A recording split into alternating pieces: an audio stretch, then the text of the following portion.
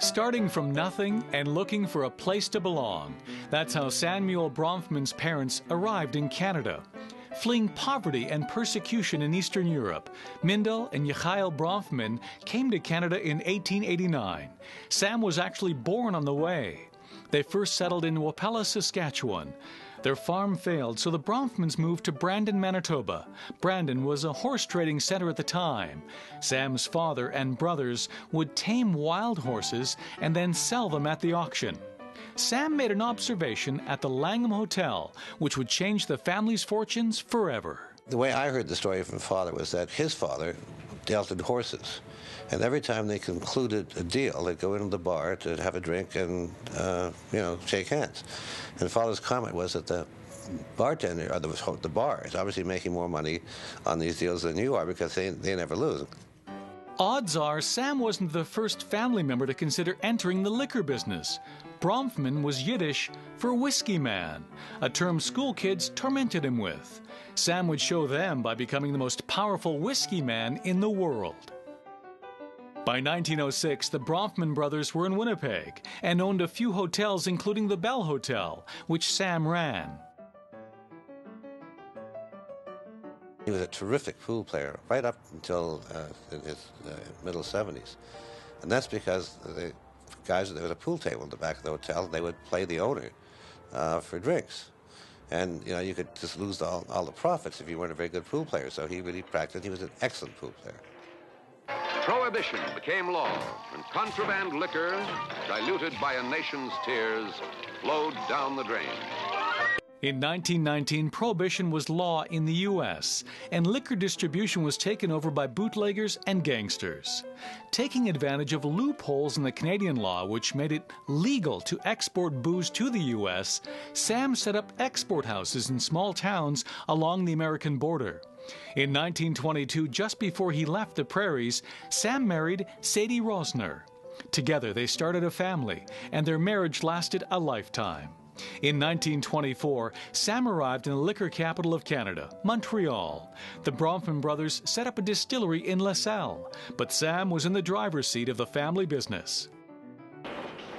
Certainly, when the LaSalle distillery was built, he had taken the, because it was his decision to build that. Harry may have built it, but it was Dad's decision to do it, and certainly he was by now the totally dominant figure in the business.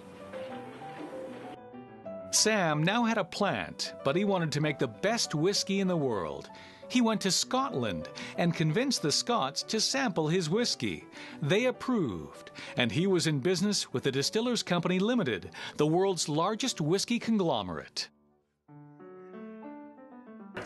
In the days when I first met Mr. Sam, the industry was full of characters, great characters, because these men built the industry, built their own companies.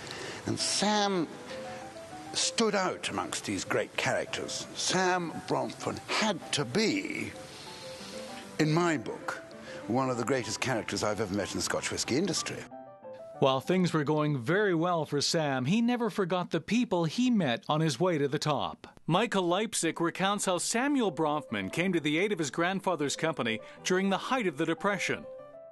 My family's enterprise began in 1905 when my late grandfather, Louis Leipsic, and his brother in law, Herman Arnovich, began a company that was in both real estate and insurance. We prospered during the, its formative years, particularly in the 1920s. And then that fateful day in 1929 came, and with it the Depression, and we found ourselves effectively flat, dead broke.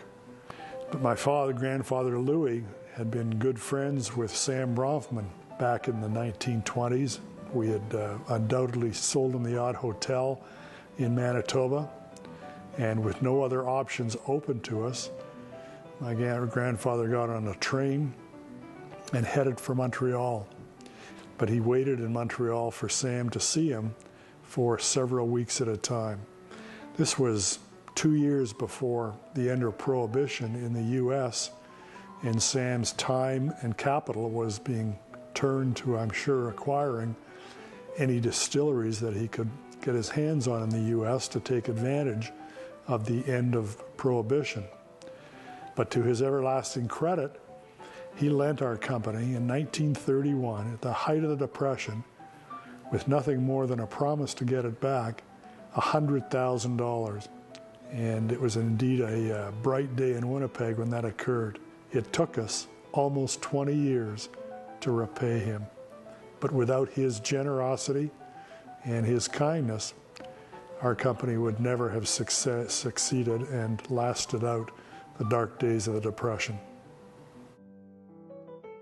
In 1928, Sam bought out the Seagram's distillery, and a dynasty was born. In 1933, Prohibition was ended by President Roosevelt, and a rush on whiskey opened up in the States. Sam wanted to release a top quality whiskey, so while his competitors were making millions, he held back, aging his whiskey to perfection. It was the single most momentous decision. It, it launched this company.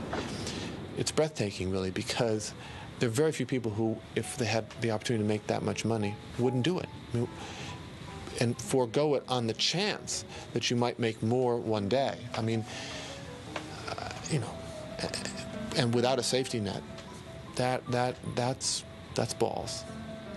Sam's strategy paid off, and Seagram's Five Crown and Seven Crown were top sellers. Sam commissioned a building in New York by legendary architect Mies van der Rohe, and it still stands today as the Seagram's Building. Sam gave back to the community in many ways. He was president of the Canadian Jewish Congress for 24 years. He received the Order of Canada, and he supported McGill University. Samuel Bronfman died on July 10, 1971. There were so many private jets bringing in dignitaries for the funeral that the Montreal airport had to be closed to regular traffic. His legacy lives on through the dynasty he built, the family he raised, and the gifts he left his community.